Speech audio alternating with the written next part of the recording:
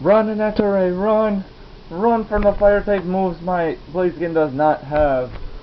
What's up, YouTube? I'm doing another Pokemon Online battle against a random opponent, and uh, I led with a Blaziken.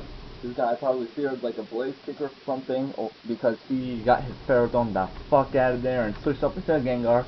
But as you guys can see, I'm actually a uh, Baton Passer. Substitute, Protect, Sword Dance, and Baton Pass. So this guy pretty much wasted a switch switching. He has a psychic. Alright, that's super effective, no problem. I'm going to protect. And he goes for another psychic. Now you got to see my team here. I have like one physical attacker to send that shit into. And it's a fucking Breloom. The fuck can a fucking Breloom do? I'm gonna baton pass instead into my Umbreon. Because my Umbreon is also baton passer, but it has fucking uh, toxic and mean look and it's resistant into his shitty ass psychic move.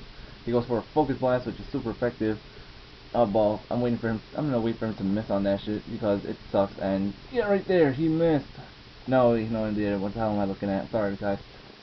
I'm just going for the constant substitute, and now he finally missed. And I will baton pass a plus two attack and plus three speed into a Breloom. Breloom sweep? I hope so. I'm at 597. Come on, man. You're not going to outspeed me. And by the way, this is the uh, Breloom that CGI made for me because this Breloom is just fucking fun as hell. If he goes into an Alakazam, I will put your sorry ass to sleep because I am so fast that I definitely outspeed a fucking Alakazam. And guess what? I also have Substitute, man. With leftovers. He goes for a Psychic. It's super effective.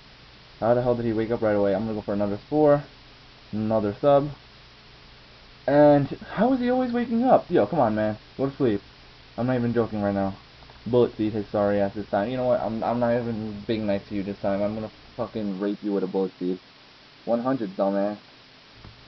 How do you not know Spore's accuracy, kid? Come on. Like, Breloom is... Uh, alright, let's, let's go. You see this? Dream World. You know what that means? That means everyone and their mother uses Jolt uses um Breloom every Breloom carries four. It's kind of, uh, you know, yeah, this guy just forfeit because I was about to sweep him with a fucking plus two attack, plus three speed Breloom.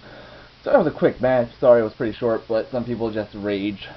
Especially when they find out that, oh my god, Spore has a hundred accuracy? That's so unfair! Yeah, um, deal with it. It's fucking Breloom. It's not that fast.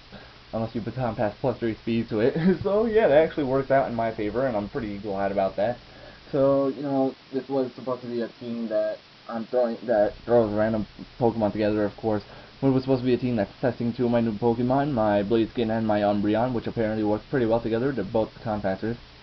And it was also, I was supposed to use my uh, Zapdos somewhere in there, but yeah, it didn't work out. Oh well, it's all good, because I will probably use Zapdos in my next video, because this team is not too bad, so I'm definitely going to keep using it, and I'll see you guys in my next video.